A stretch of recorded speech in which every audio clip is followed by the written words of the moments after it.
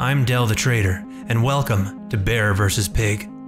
This is a series of interviews with seasoned day traders who have found themselves trading inside one of the stock market's most volatile and shrouded niches. These are traders that have managed to break through the gauntlet that is discretionary day trading. They've become profitable and have emerged on the other side triumphant.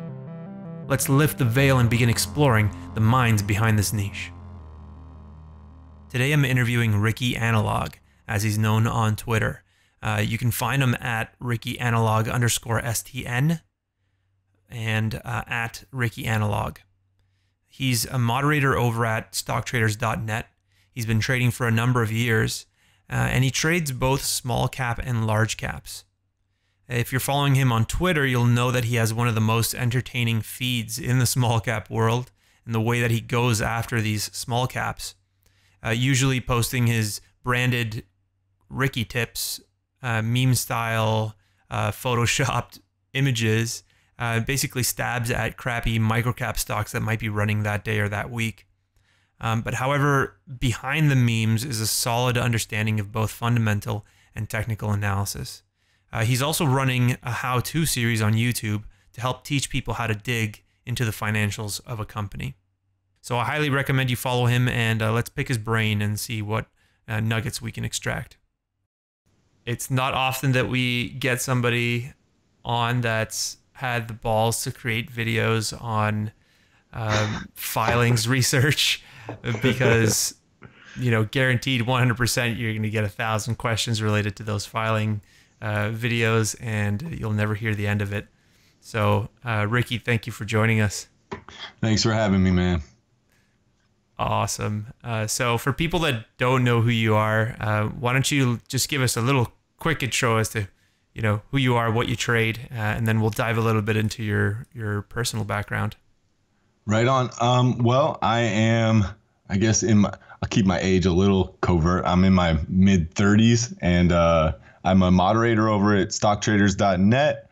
I've been trading going on right. This is almost my five year anniversary right now, actually. So nice. um, I still consider myself that uh, consider that extremely rookie. Um, not under any sort of. Uh, I'm not naive enough to think that that is any sort of experience level or anything. So, um, but at the same time, like. I've been through the ups and downs and I've, you know, I've found consistency and I found profitability and have been able to sort of find my little uh, spot in the world of trading. Um, been through a few different chat rooms. Um, I'm really happy to call stocktraders.net the home now and uh, found a good core group of guys that I trade with and uh, formed a bit of a little bit of a brotherhood over there. So uh, it's really nice. Um, I trade mostly I guess people think that my specialty is the the micros, and obviously because I do a lot of the stuff with the fundamental research on the the filings, but I, I do trade a lot of the large caps as well. Like um, especially lately, anytime it's earnings season, you know, a lot of the micros t- kind of taper off, and uh, they've been extremely dead lately. So and I don't want to sit around twiddling my thumbs, so I actually I trade the the large caps uh, just as much, if not more, sometimes than the micros, and uh, I have really good success with them as well. Yeah, that's awesome that you do because you know, especially right now, a lot of people are twiddling their thumbs, and that's probably the best thing for them to do. I think the worst thing a trader can do is force trades in a market with no volume, no volatility. Um, so, okay, so you're you're a trader at StockTraders.net. Um, I actually had some experience in that room back in the day um, when I was when I moved over from futures into stocks. I wanted to see you know who the players were, you know what people were trading and all that type of stuff. And I signed up to that room and just kind of listened, watched, you know, and not not the paid one, just the free one. Um, so uh, that was my little interaction with stock, StockTraders.net. But um, do you want to tell us a little bit more about you know how you got involved with those guys? Yeah. Um, well, like I started the first chat I was in was, uh, which is kind of funny, is um, it was Spartan Stocks, which I did the interview like a month or so ago with Under PDT, and uh, Will Weiss is um, one of the guys that runs that podcast, and he is actually the creator and uh, kind of the the head guy over at Spartan Stocks. And so I was over there and then I kind of did my own thing with a Discord room, had some friends, you know. I think a lot of people kind of go that route eventually. And then um, I had a friend that, you know, had just kind of clued me into stocktraders.net and this is back when they were really just just starting they uh, had just started a discord room so i poked my head in over there and uh, I was there, and at that time, you know, I was in Spartan Stocks, and I had my own Discord room, and then I was in their Discord room, and I was like, oh man, like I got too many things going on at the same time, not enough screen space, and I was like, so I kind of stopped hanging out in there just because I needed to be able to focus on what was uh, obviously trading first, and then trying to help out some of the guys in in my own Discord room and contributing in Spartan Stocks, but uh, I think a few months after that, somebody had said something about it, and I, I was like, oh, yeah, I forgot about them, you know? And like, I went to check them out again, and they had just migrated to like a web based uh, room. And it was, I guess, what they call STN uh, 1.0. And mm-hmm. it was, I mean, not to knock them because I know there's a lot of stuff. Like I know all the behind the scenes stuff that goes on with their their uh, system now, and it's a lot of work to get like a, a website designed and to run and function properly. Oh, yeah. And um, so it was. I don't mean to knock them when I say this, but the version 1.0 is really kind of clunky, and so. I didn't I didn't kind of like hang out there very often just because one being on a web browser uh, I had to have a whole window open for it or whatever. And so it was kind of like once again, I uh, strayed away from them for a little bit. And then I went back and uh, I think I just had started posting some stuff about somebody had mentioned a ticker and I was like, oh, you know, like you should probably look into uh, the warrants or something, something fundamental on the company because it was a turd. Mm-hmm. And I think I just caught the eye of uh, one of the moderators, Rob, at the time, and he DM'd me and was just like, yo, like I noticed you seem to know like the fundamentals on a lot of these turds like i i kind of started making it a habit i'd poke my head in over in the pre-market and i'd see what tickers people were talking about and i would just drop like i guess like now i typically have what people know as the ricky tip which is uh yeah, the turd right. in play yeah so like it was basically that back then but without you know it was just quick drop in the the the quick and dirty on that ticker and let people know what to watch out for or what kind of overhead supply to expect. And so he kind of just like asked me if I'd be interested in uh, maybe helping out or seeing if there was like a place for me over there. And um, I told him at the time, you know, I definitely would be interested in discussing it and thinking about it. And but I also knew I had other obligations at the time, so uh, he put me in touch with Titus, who is like owner uh, slash head moderator over there. Um, him and uh, Monaco Trader, the guys that started it, and um, he talked to me for a little bit, and you know, like I know about him and I knew who he was, and so like to speak to him uh, in a voice conversation at that time was kind of uh, daunting to me because I was like, you know, this is a guy I've looked up to for a long time. He's a big trader, and he, he's a, he's one of the best hands down that I've ever had the honor of watching trade and trading with. And so when that guy's talking to you, and like asking you, would you like to help out with stocktraders.net? It was like a no brainer. It was a, a definite, yeah, let me see what I can do to contribute to the community. And that was actually, you know, kind of uh, probably what got me started making the videos was the ability to realize that uh, giving back to a community has it has its own bigger purpose, right? And so I think that was the natural progression was like helping out that community and then realizing, you know, like you don't have to only help your community. You could put stuff out there, some content out there that could just be helpful to anyone that's not necessarily in stocktraders.net, but something mm-hmm. that they could use. Yeah, and you know, I think it's it's really sad that a lot of people don't share because they they assume that because they're not, you know, a veteran 25 year trader that they don't, you know, have the right to share what they're doing at the time, but uh, it's really important to, to, share something that you're you're becoming proficient in, even if be, before you come become proficient in it, because number one, you get feedback from the community, which is super important to your development, um, and then number two, uh, it also helps people expand their horizons and maybe think a little bit differently about a specific subject. You know, so helping giving back to the community, that's what it's about. You know, not not having to be the, the most advanced trader talking about a particular subject. Yeah, we all start somewhere, right? So like you might not know everything there is to know about filings, but if you know like some of the basics, I guarantee you there's people out there that don't know that that you could at least enlighten them that part of it. And then, you know, in my eyes, the way it works is that you get what you give. So like I feel like by putting this out there, it, it always comes 360. So like I've had so many positives come out of sharing uh, the SEC filing stuff that you know I never would have imagined happening. Like people just being like DMing me like, "Yo, man, did you know about uh, XYZ had?"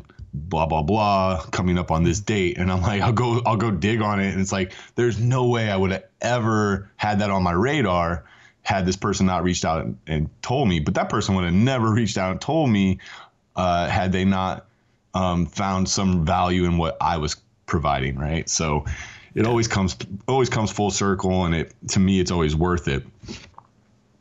100% agree with that uh, for sure. Um, okay, cool. So you've been trading for five years. You trade small caps, large caps.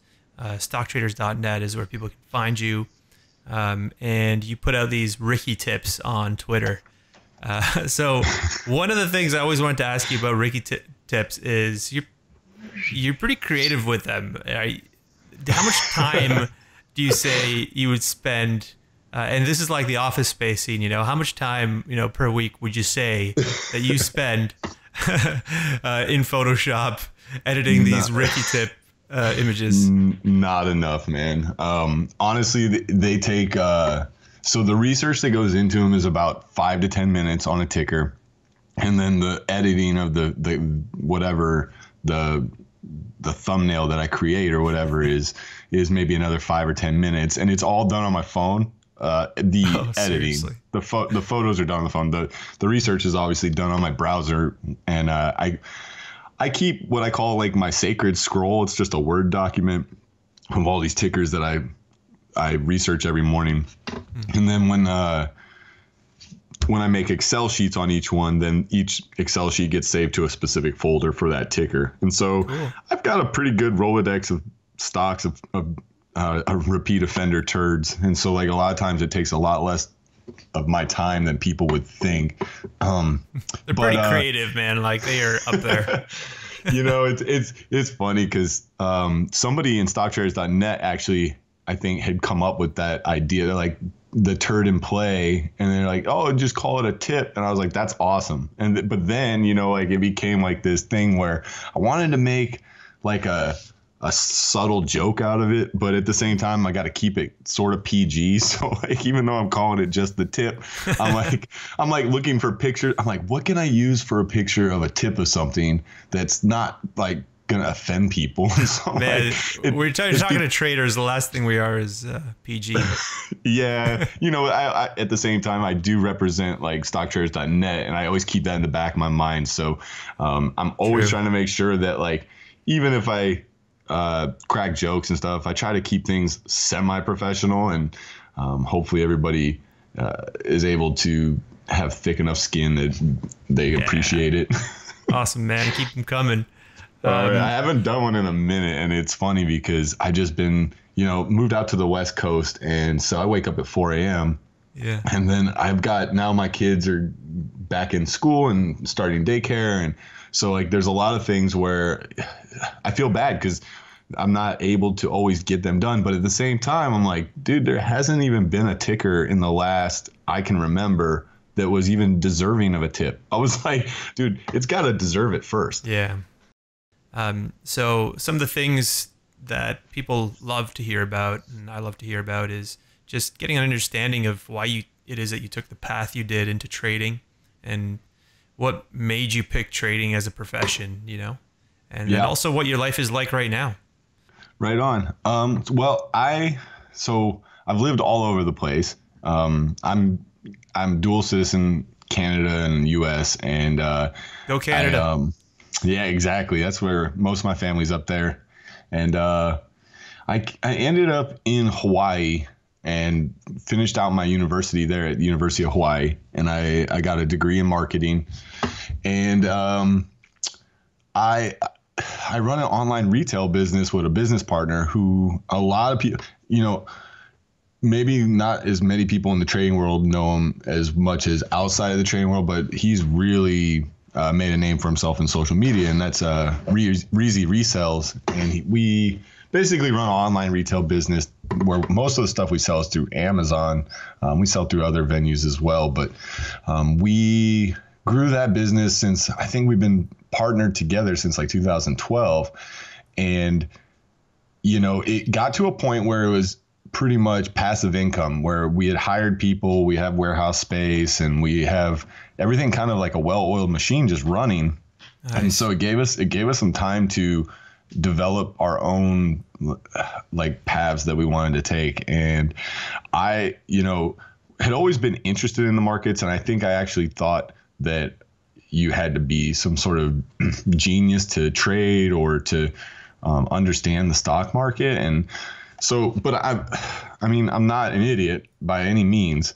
Um, and so i started picking up books and like i read one of the first books i read i don't know how i got turned on to this but it was the intelligent investor by benjamin graham which was the infamous warren buffett uh, material. And you know i read all that and then i was like i started thinking you know i think i could do this so i started reading more and it was funny because i think my first inclination into the markets was that i was going to be i was going to invest and yeah. um, my business partner agreed that we had like enough money in the business account that we should open up an e-trade account and I could manage it. And it was a small amount. I think it was like 10 grand or something. And, uh, I remember the first thing I bought was Amazon because we ran an Amazon business. I bought hey, man, it. That like, makes sense.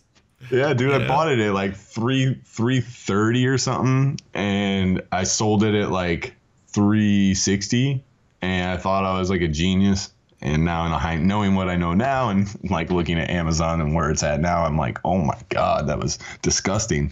But uh, then, so like I said, I'm, this is going on five years right now. So like we're coming up on the anniversary, and if you guys remember, five years ago from this point in time, we were in the pot stock boom uh, version 1.0, and it was uh, it was crazy. It was um, everything was flying, everything was going to the moon, and so you know i found out about twitter and how cash tags worked and started following people and uh, fell into the whole um, i guess the pitfall most young and new traders fall into and that is following people and just buying stuff blindly and thinking it's going to the moon and so like needless to say uh, we ended up kind of getting into the pot stock right around the top and this is before I knew what shorting was. Everything was only long. It was all in an E Trade account. Uh, wasn't for day trades, you know. So we were buying stuff and like holding it and praying, and, and everything that ten grand disappeared rather quick. And uh, I'm not the type of person that looks at that as like a failure. I'm just like, nah, it's okay. Like, obviously, there's something I'm missing here. I need to learn more. So, but my business partner was like, completely turned off from the markets after that. He was like, F that. I think because at that point, like we had both also started personal E Trade accounts with like even less than the 10 grand. So like I think we had the 10 grand together and we, I think we each had like maybe five grand in separate personal accounts and those those disappeared as well. And he was like, dude, nah, I'm not trading anymore. F that. And uh so yeah. But um I stuck with it, and he ended up going uh, the social media route. So like he started educating people on doing online retail uh, through his Reezy Resells YouTube page, which is kind of funny because it's like now he's gotten so good at all that. It's like I definitely have somebody to consult when it comes to making my videos or making, you know, how to uh, optimize them for search engines and all this stuff. But uh, awesome. Yeah, that's that's pretty much how that happened. And like, so I got my butt kicked like bad the first few years of trading, and I know everybody can relate to that. Um, but I honestly think that that's probably the best thing to happen because yeah, I mean it's the gauntlet. You know, some some traders will go through it and you know they'll they'll get a, a finger lopped off and they'll be like, you know what, that's it, I'm never coming back. And you know, it takes the right type of person to say, you know, I got nine more fingers, so let's go for it. Yeah. You know, it's funny. I always think that maybe that actually helps skew that, you know, the uh, cliche um, statistic that everyone quotes of I think 90% of traders fail or whatever you want to say, yeah. 95% where well, if you take into account, I think the majority of people that just fall on their face right away that never get back up and try again, like if you remove them from the equation, the people I think that get back up and try again, I think you're probably out of that group. It's a lot less than 90% I think that would I would say fail. I think oh, yeah. um, from the people that get back up and know how to brush themselves off and teach themselves and you know are disciplined those are the ones that stand a much better chance to begin with so if you remove all the people that are just like chasing uh, the next shiny object which it's funny because that there's so many correlations between this and the online retail so like online yeah. retail experienced the exact same kind of boom in the industry where it became like the cool thing work for yourself sell online and like all these people were that's why like Reezy's um, youtube blew up because so many people wanted to learn how to make money on their own and uh, really most of them were just chasing the next shiny object and you see that in trading too. In general i think people give up fairly easily especially when they find out that something's harder than they anticipated so yeah, I mean, a, a, better stat I think would be how many people um, have failed over how much period of time, and and an even better saying would be ninety percent of people fail, not just yeah, fail at life. trading, because the, you'll fail at anything if you give up. So and, yeah. and the other thing well, is you can't fail if you never give up. So yeah, there's there's no uh there's no diet pill. There's no um there's no easy button. Trading is uh it takes work. It takes um, a lot of hard lessons. It's so funny because you can tell somebody all the lessons you've learned over the years that like don't do this, don't do that, and yeah. the majority of people need to learn the majority of those lessons the hard way. Absolutely. Um, so where where do you live right now? I mean, don't give us your address, but tell us in general what, where you're located and what's your, yeah. your personal life like. Yeah, so I am. Uh, we just relocated from North Carolina to San Diego, and um, my wife is a Marine, and I actually met her in Hawaii. Wow! And so that was, uh, you know, trading in Hawaii was crazy because the time zone. So anybody that thinks that uh, California is tough, where I live now, um, you don't understand what it's like living in Hawaii and trading. but uh, California, I'm in San Diego. Um, we've been out here since I think July and uh, life is finally starting to settle back down because um, we drove a camper like a, a I think it's a 30 foot camper. I pulled it with uh, the SUV across the country, and that was with a uh, seven or eight month pregnant wife. And wow. uh, we have a we had a um, how old was she at the time? Like a a one year old or a one and one 16, 17 month old in the car the whole way and an eight year old. So it was a, a crazy trek across the country. And I, I drove the whole way like I wasn't going to make my pregnant wife drive. Well, I mean, um, I think she probably had to be a Marine in order to survive dude, that, she's, right? She's tough, man. but like, so we got out here and it was funny because we didn't, um, have a place to stay or anything. We were just going to stay in the camper at a um, an RV resort or whatever until we found a place. And we didn't find the place that we're at now until I think we moved in one week before the baby was born. So it was like really wow. cutting it close. So moved in, had the baby. We didn't even have any of our furniture yet because the movers hadn't delivered it yet. And so we had went out and like bought like a dining room table and chairs and a uh, a couch and we were sleeping on the mattresses from the camper. We brought the camper mattresses in the uh, the house, and we were sleeping on those till our stuff got delivered. And um, now all of our stuff has been delivered. Uh, the the baby is uh, three months old now, so like finally at the age where he can hold his head up on his own, which is like I don't know if you have kids or not, but that's like a huge uh, a milestone because you no longer have to like hold them as quite as careful as you used to, and uh, they can do a lot more. But um, they're I have they, one baby as my computer, and that's about it so far. working on it. that you know of. yeah, yeah, that's right. but um, yeah, and like now they just went. Uh, they just started up at this new daycare, and uh, it's funny. This is their first week back at the daycare, and lo and behold, my eight year old daughter is home all week long for, I guess, the, the schools here in California are out the week leading up to Thanksgiving. So oh, nice. I, thought I was finally gonna have like my trading desk and my peace and quiet while I trade, and nope, got the eight year old home. But it's a blessing. I mean, we all know that's one of the biggest bonuses to being a trader is that you have all this uh, uh, free freedom to spend time with your family, and you don't have to call your boss to ask off for work. That's why you do it, right? I mean, that's the whole the whole point, I guess. Yeah. All right, so you, you put out a lot of videos, um, and you know one of the things that strikes me is how consistent you are. Just on your, looking at your Twitter feed, um, I've been following you for a while, um, and I I love how you approach breaking down a ticker.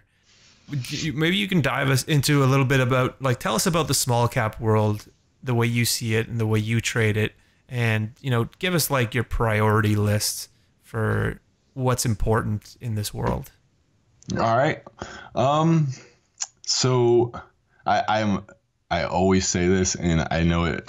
I know a lot of people wish that I had some kind of uh, golden Easter egg answer for them about the filings, but uh, it's always technicals first with the the micros. And um, even though I know that there's all kinds of crazy, crazy shenanigans that go on in the behind the scenes with these companies, um, it doesn't ever change the fact that you have to use your technicals in order to have sound risk management. So, um, and with the micros, you know, I think what draws a lot of people to them is the giant moves that they can make.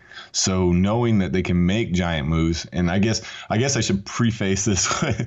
I I don't very often I don't uh, long these. I'm almost I would say 95% short bias on on all the micros. Um, mm-hmm. And so knowing that and knowing that they make these crazy runs is what forces me to really, really wait for them and be patient for them to get to a point of how how extreme can it can it get, right? So the more extreme it is, in my opinion, and this is going off the fact that if you are short bias on a, something that is running 100 200% or whatever then i think by default we would agree that you're playing a mean reversion on it. So you mm-hmm. are trying to you're trying to use some form of analysis to spot the top. And then you are trying to figure out a way that your strategy allows you to get in as close to the top as possible so that you have something to risk against and then you are trying to fade that ticker back to whatever your targets are. And hopefully you know how to set targets correctly that are logical rational targets. And um, so the more extreme something is the more two things the more likely the mean reversion will happen and when it does happen the you are more likely to have better risk reward because the target should i mean if something's up 300% then it's safe to say there's some meat on the bone. Now by extreme by extreme you mean uh, like price range or?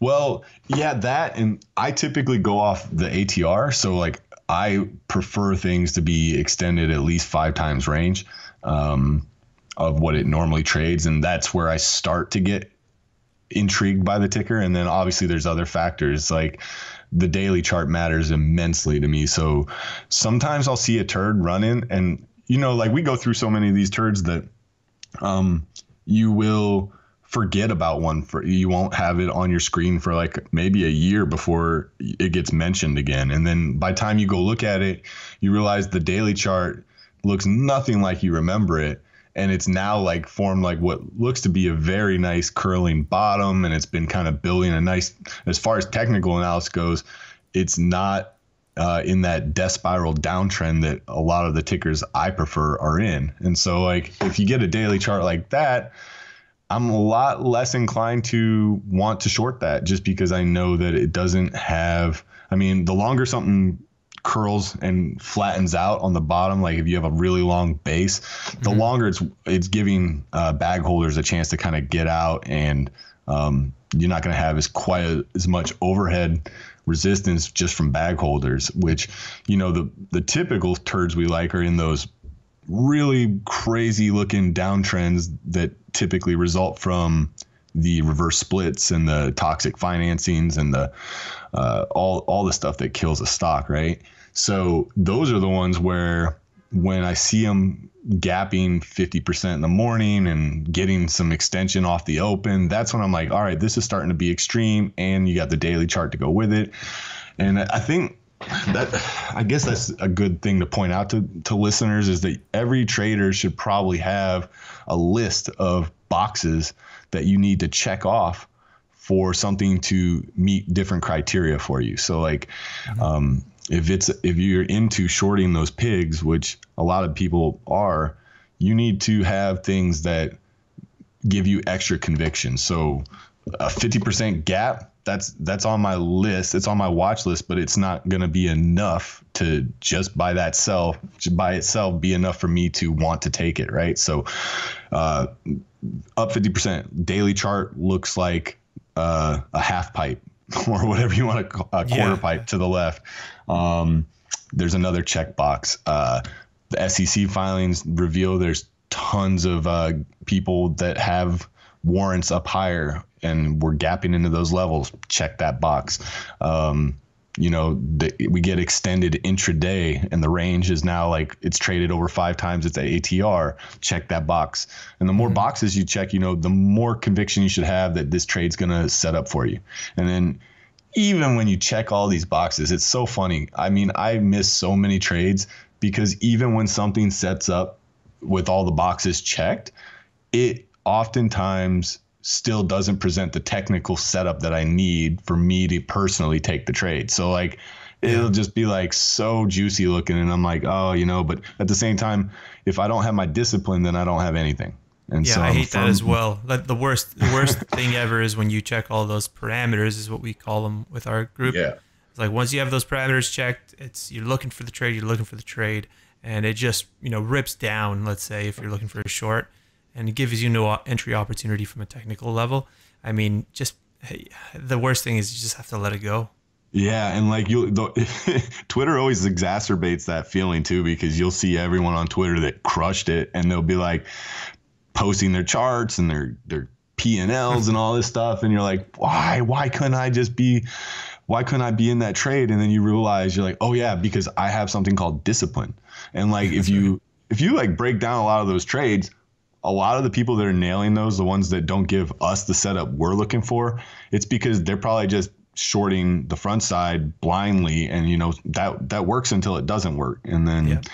so i mean kudos to them for nailing that trade but kudos to me for uh, having the discipline that's going to keep me in the game for another five to ten years yeah there's always another trade i, I think that's that's what people yep. have to remember it's just that feel of feeling of fomo is so dangerous it's like it's like crack for traders. You know, just stay the hell away. yeah. Um, so so how would you define as like the the opportunity in trading these micro cap um, stocks? Like, what's the main opportunity there as opposed to just trading large caps?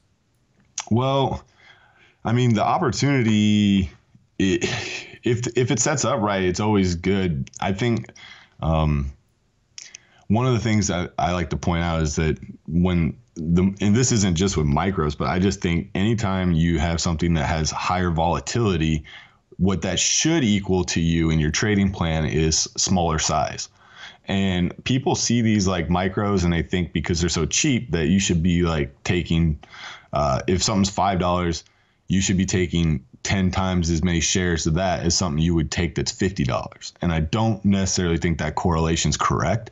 And so there is a lot of opportunity in them but if you are taking on too much size i think and not able to sit in it. like i see a lot of people that are just taking like five to ten cent scalps on these and if that's the plan then that's the plan and i'm not trying to knock it but like that's not my style of trading like mm-hmm. my opportunity lies within trying to find something that is extremely extended identifying the top putting on the trade as close to what i think basically the trade thesis is this top is in now where can i put the trade on and what size do i need to use where i can risk over that high so that the risk reward is there? And then from that point once the trade's on it's first target or stop and that's it. There's no in between uh, at least there shouldn't be. And like i'm i'm human so i make mistakes and there's often times where like maybe i don't feel quite comfortable with the size i put on and i'm i'm starting to scale out a little before the first target. And you know that's it's all psychology. It's you know you have too much size on if you uh, aren't comfortable enough to let it go to its first target or you're not comfortable with the fact that you know how to pick a correct target. Mm-hmm. um, but the, you know the opportunity for me is saying that this should fade all day or this should go to this target. And then from there it's it's if you ask me and i try to point this out in some of my trade recaps or my twitter posts is that the way i trade a nvidia or a netflix or a whatever i'm trading that day they're fundamentally the same the same uh, concept of how i trade them which is if I'm trying to fade it and it's something that's getting extended to the upside, then I'm trying to put it on as close to the top as I can. And I am trying to capture the meat of the move, which mm-hmm. to me is first target. And that's where I'm locking in. And then from there, if it wants to give more, I have some shares left for that move where it does give more. But, uh, you know, so, and, you, you, so you're not a fan of scaling in. You're, you're more of the, I want to get in at the at the what I think is the top and then hold through a pullback? Yeah, well, I do scale sometimes, and the thing is, is my scaling is not like uh, what I think most people are accustomed to seeing, which is, you know, kind of having areas where you'll where you'll start in on something as it's moving up. Like I wait for a lower high, and then I'll wait for a, a level to break to confirm.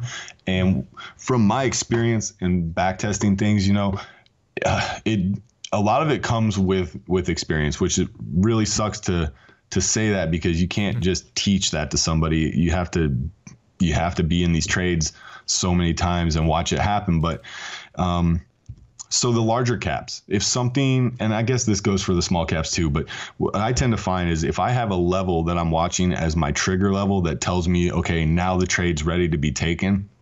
If the price bounces off that level three, four, five times, then I am probably going to take the trade at least partial size right when it breaks that trigger because mm-hmm. I from what I've experienced and what I've seen through my back testing is that those are the ones that don't always or very very seldom give better prices or prices closer to the high where you would like to enter. Now if something just flies up and then comes down makes a lower uh, a low, pushes back up, makes a lower high, and then falls through that low.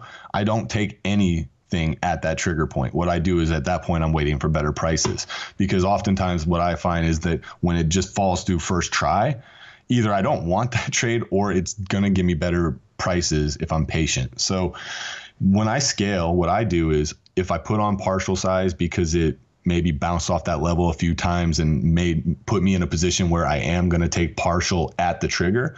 What I do is I'm only putting on uh, maybe 0.5 R or maybe even less, sometimes like a quarter R, which obviously is uh, whatever I have deemed my full risk on that trade. And then at that point, I, I have a spreadsheet I use which helps me kind of calculate how much to add at whatever level to get me as close to a full R as possible. Um, and so what I do is like I'm looking for a push back up towards the high where I'm risking against to actually scale in then. So like I'm not scaling as it goes against me. I'm scaling as it gives me opportunity to get better prices after the trade has already confirmed that it's a valid thesis in my in my strategy. So first it's always got a trigger. And at that point then it's like do i take it at the trigger or am i waiting for better prices and am i scaling as it kind of pushes back up towards my level of risk?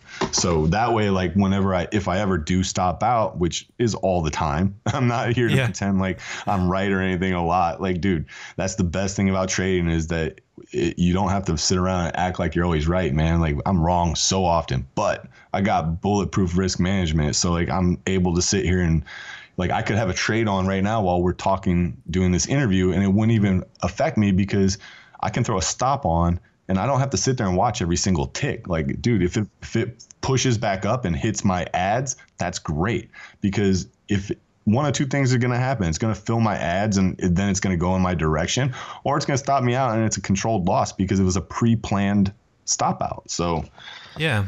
And so maybe you can share like some of the details around your risk management. Like, what would you share from your risk management? Um, if somebody wanted to get started on position sizing and risk management, uh, what tips would you be giving them? Okay. Um, so, for starters, um, try to adhere to at least a two to one. But I know, and this is something that's as, as cliche as it gets because you'll hear it regurgitated on Twitter and everywhere. But three to one uh, reward to risk. But that there's a reason that gets regurgitated because mm-hmm. you need that risk reward or reward risk.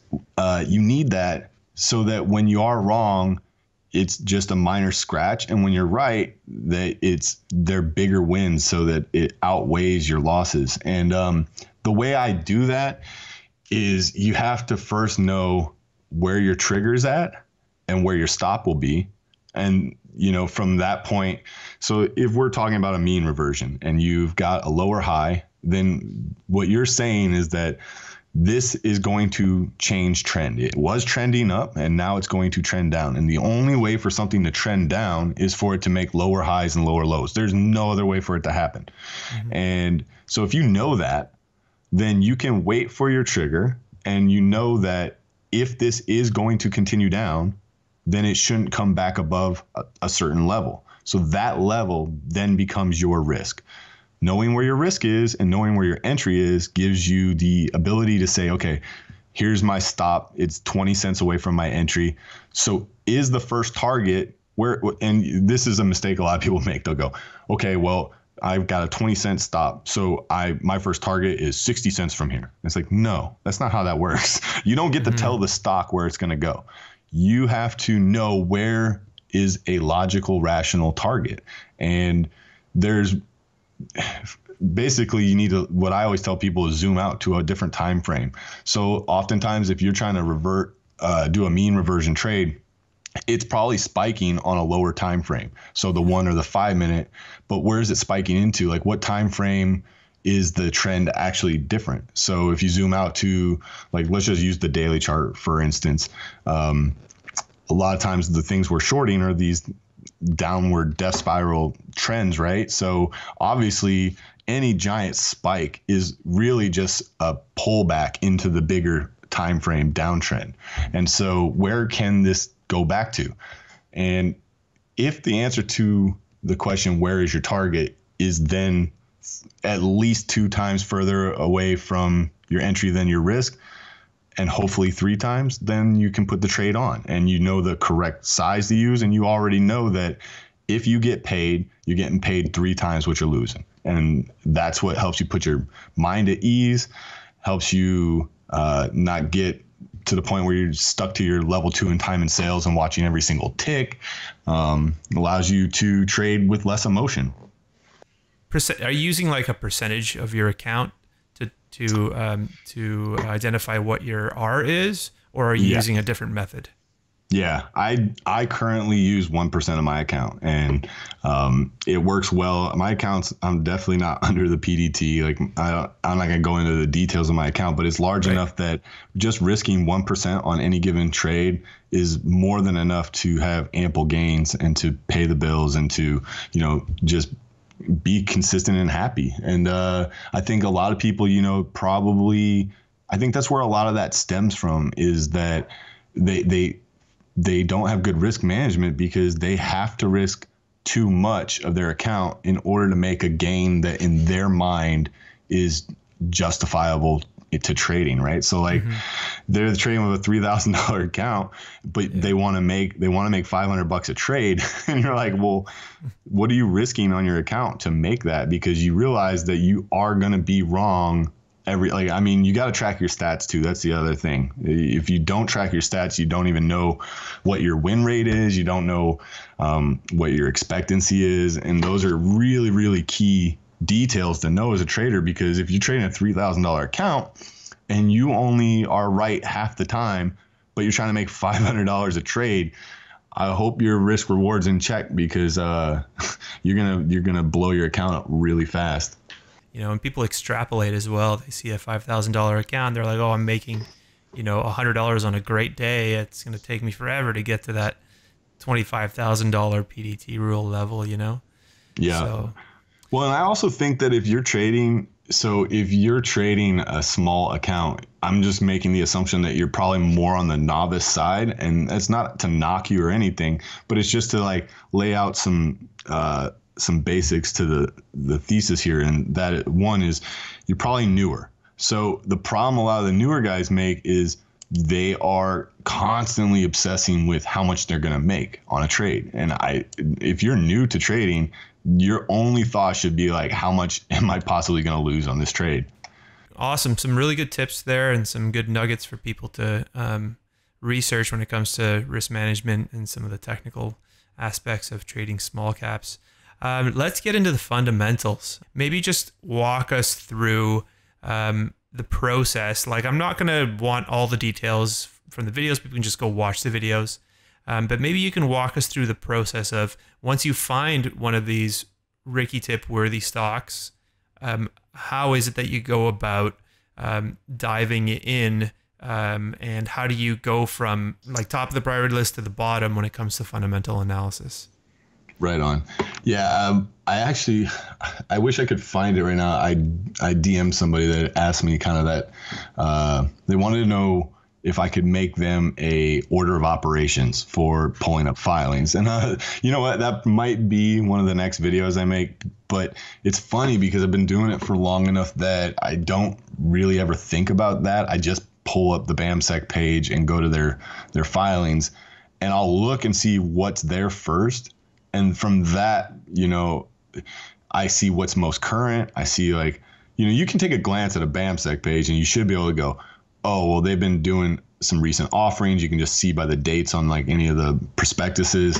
Um, or you can be like, oh, well, they just filed like certain times of the year, you know, like everyone's filing their quarterlies or their annuals. So, or you'd be like, the most recent thing was they did a, a um, a shareholder meeting and voted on something. What was it they voted on? Or, and from there, you know, that's where I decide where I'm going first. And so it, it does differ immensely from from ticker to ticker, but learning how to identify like what their most current filings were, and then that should get the gears turning in your head. Like, okay, what does that kind of say to me? So if if I see they did an offering recently um, within the last few months, that's probably the first place I'm going to go. I want to, the first thing I want to know is, well, what did they sell shares at? How many shares? Who bought them? What kind of offering was it?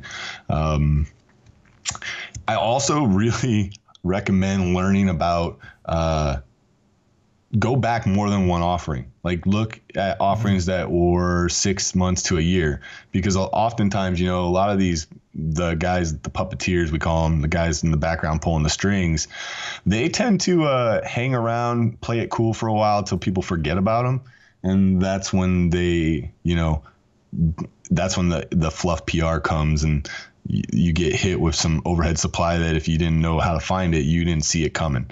Mm-hmm. Um, and like we actually, you know how I said everything comes full circle, right? So like I actually had somebody DM me, uh, maybe was it yesterday or the day before, and they were just asking me about um, the NBEV offering from August, and you know they're like, well, what about uh, what date do you use for figuring out the lockup expiration?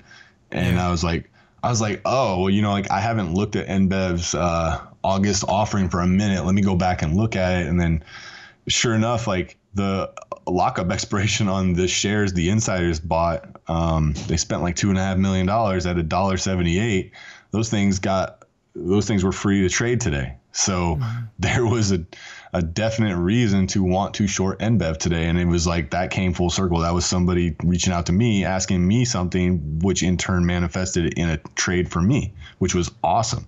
But it's like, that's one of those things where you really need to go back and look at the older ones as well because there's oftentimes uh, warrants that weren't exercisable f- until six months out.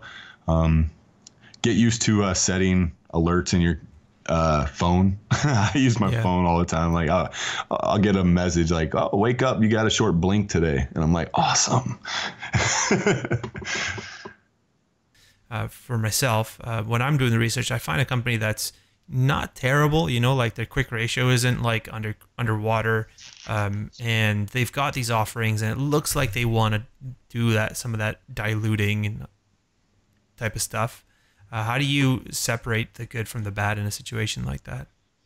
Um, well, for me, a lot of it has to do with, uh, so depending on who has the overhead, right? So if it's somebody that you know is a repeat offender, like um, Maxim or HC Wainwright or Roth, any of those guys, you know, um, or Sabby, or I mean, I could, the list goes on and on, but uh, those are the kind of guys that they're not going to care about the company or the shareholders. They're caring. They only care about themselves. Now, the the companies they conduct offerings because they need cash, but there's different reasons you need cash, right? So some companies just use the stock market as a printing press.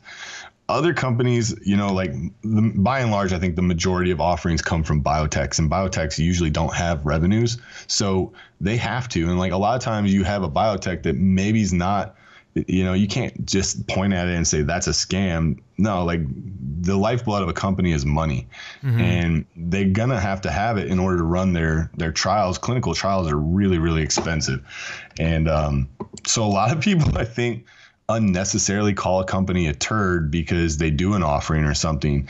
Um, Yeah. Like t- take TNDM for example.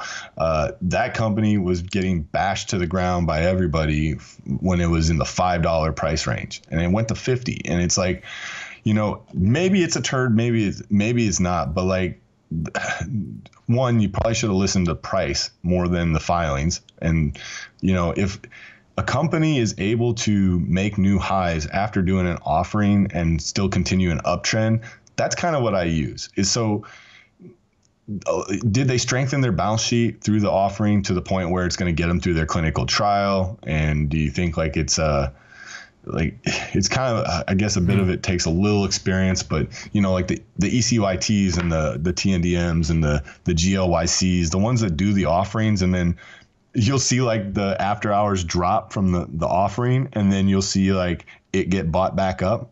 That's kind of usually the the give or the the tip. That's like the hmm. I think all the shorts that just shorted that on news that the offerings out are probably all going to get screwed over tomorrow morning and like then you kind of watch the price action afterwards and uh, from there you you can usually say all right that's a hot stove don't touch it Is there a technical setup that you're like if there if there is a technical setup, are you taking it despite there not being like a strong case uh, from the fundamental side? Um, I think so. Uh, it just depends. So, like, if we're talking about a company, like again, I, I like to revert back to the the the shorts on the extremely extended ones. Um, I only have like I.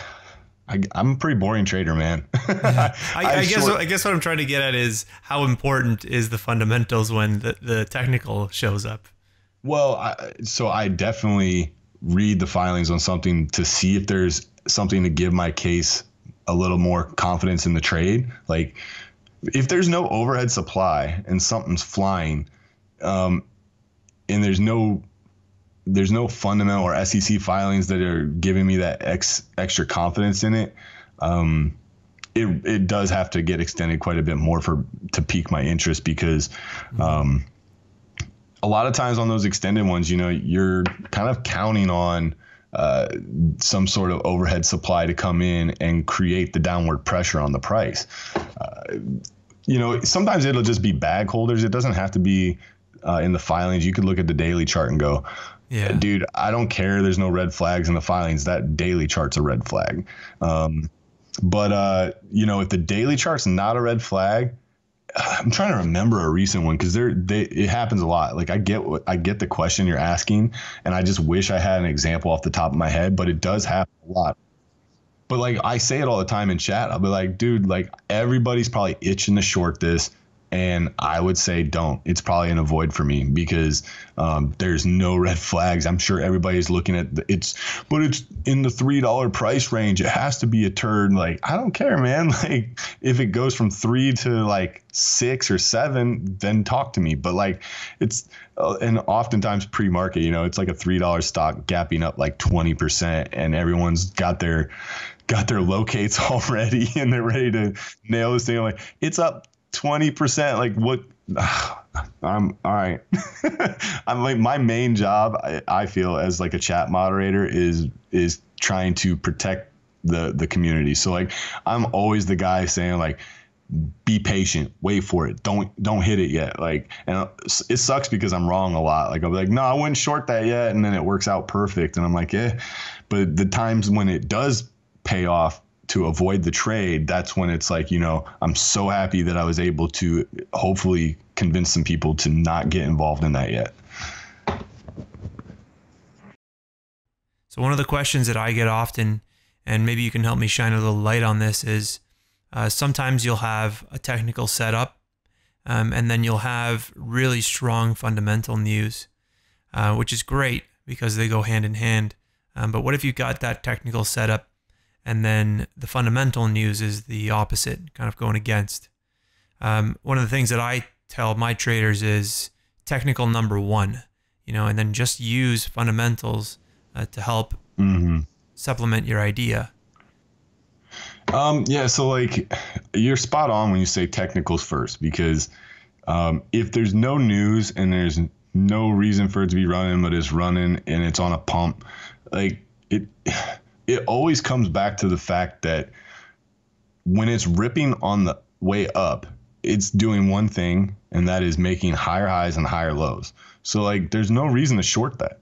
Um, at least in my opinion, you can look at the daily, like, dude, perfect example today is ANY, right? Any. Mm. So it's like after hours right now, it's it's almost up at highs, and uh, it, you know, it, te- from a technical perspective, it's a it's a turd. Like we don't have to argue uh, whether or not ANY is a turd because they are, and like the filings prove it.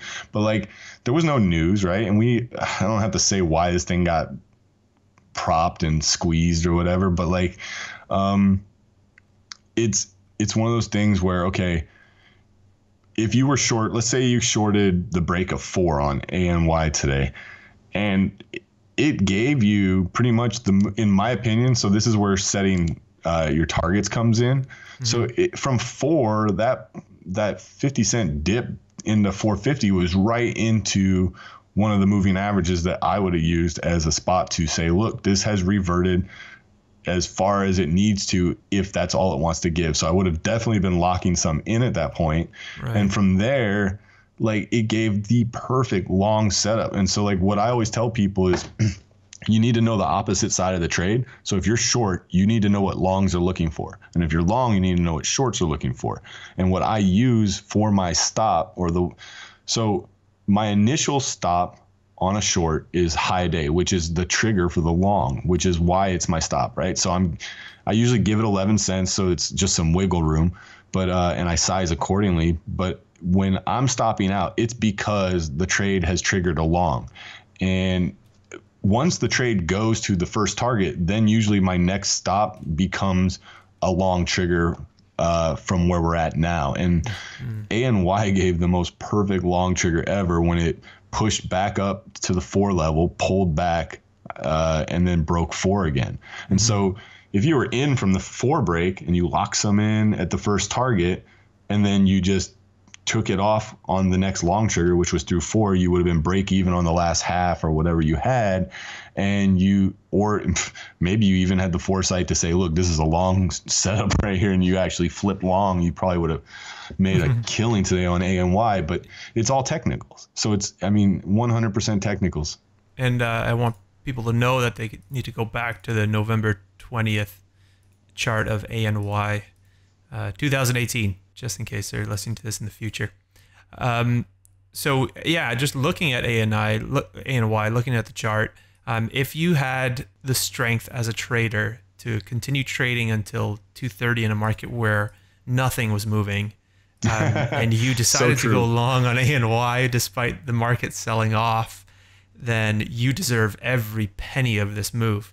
Um, so, um, what do you do to, to track your trades, and how does it affect your level of confidence in a trade? Um, I use TraderVue. I used to use EdgeWonk, and nothing nothing against EdgeWonk, but it's uh, I just feel TraderVue gives me more. Uh, it gives me data that I would have to do some tricky Excel sheet work with with EdgeWonk to get the same data. So like, Yeah. I guess I'm just I guess it's uh, a little bit of laziness on my part that TraderVue makes it so easy. Um, but it, it's a super powerful tool, and like one of the, the things I do every weekend is I just spend a little time looking over. So I will uh, sort my trades by loss, like largest loss to uh, largest win, and I just start up at the largest loss for the week. I work my way down. I go look through every loss, and I, I say, was this trade one? Was it a valid trade, or did I break some rules? And two, if it was a valid trade, was there anything I did wrong or something I missed? And if it was something where I I did break some rules, then I need to try to figure out what and like sometimes I'll take notes too in TraderVue or maybe just jot them down on paper, but I'll I'll think back to what was going on that day that caused me to, you know, think like, okay, now I can break a rule. And I'll tell you right now, my number one problem with rule breaking is always the same. It's every week. It's uh, I, I get nicked on a trade or two for anticipating a break instead of waiting for the break, and it sucks because you're like, ah, it's such a dumb thing. And by and large, the majority of them that uh, end up triggering, and I and I did anticipate it. So like, let's say uh, the like with ANY, right? The break of four was the trigger, but I anticipated it at 412 and got lucky that it broke instead of just holding four and ripping in my face. Um, most of the time, when I look back on those trades that I anticipated, it breaks the trigger and then comes back to where I anticipated anyway. So I'm like, dude, it's such a big old like middle finger in my face. Like, you idiot. Like, dude, just wait. Yeah, yeah. And people really get caught in those squeezes because of that. I mean, just going back to that ANY chart, you know, right above 410 at about 254, right before that big volume squeeze above the previous 420 or 430 high. Man, mm-hmm. that if you know, people were holding maybe, you know, maybe they had their stop above the previous high and they just got squeezed the hell out really fast. Yeah, and you can tell too when you look at it that uh, there was probably quite a bit of people that were just trying to be patient and wait for the pullback to get out, and Yeah. it never it never retraced back to that 430 level. It like retraced to like 443 ish or something, and then it was like you could tell people that got squeezed and got caught started realizing this might not retrace all the way, and everybody started covering again, and it was just a yeah, it was a bad squeeze. Awesome. Um, is there anything you want to say about the uh, anything else you want to say about uh, the fundamental side of things?